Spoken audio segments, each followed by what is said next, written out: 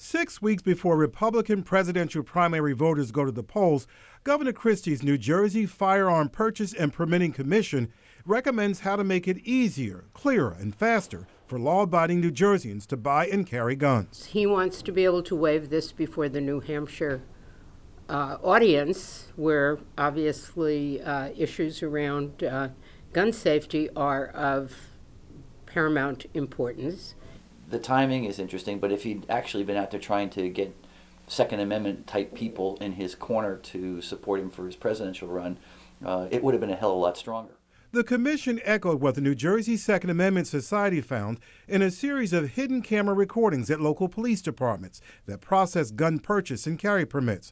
The latest one released this morning of South Plainfield, where police did not respond to requests for comment. The Commission concluded statutory requirements are being applied unevenly across New Jersey townships, unnecessary delays in processing applications, and the imposition of unauthorized requirements in the application process violate the law and introduce arbitrariness to the exercise of a fundamental right. Governor Christie, if he really believed in the Second Amendment, should have done what he did with the pension reform. The governor formed and appointed three lawyers to the commission a month after an ex boyfriend in a domestic violence case murdered Carol Bowne, who had been waiting 45 days for a gun permit when the state law limit for a decision is 30 days.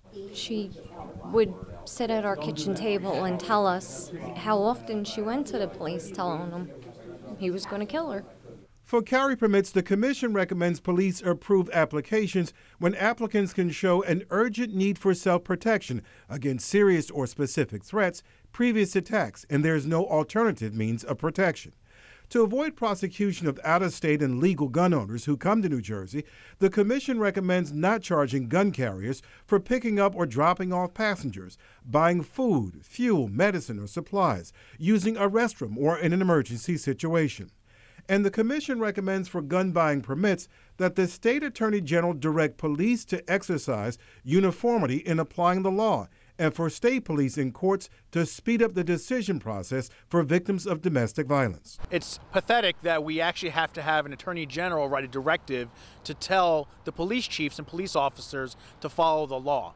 That's absurd. The problem here is that there's no consequence. The governor's office did not respond to our request for an interview, and the state attorney general's office said there was no one available for an interview about a topic that's important to gun applicants and to some primary voters who will weigh in early on presidential candidates. In January, the president of New Jersey Second Amendment Society is going to New Hampshire at the invitation of gun rights organizations. He will talk about Governor Christie and gun rights in New Jersey.